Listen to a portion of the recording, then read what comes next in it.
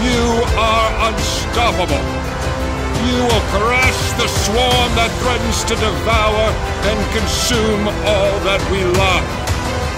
All that we have accomplished. You will eradicate the heretics. You will rip the spines from the orks. You will burn the xenos to ash. You are what's standing between our eternal salvation complete destruction. We will turn your body from weak flesh to iron and steel. You will embrace pain and laugh at its attempts to break you.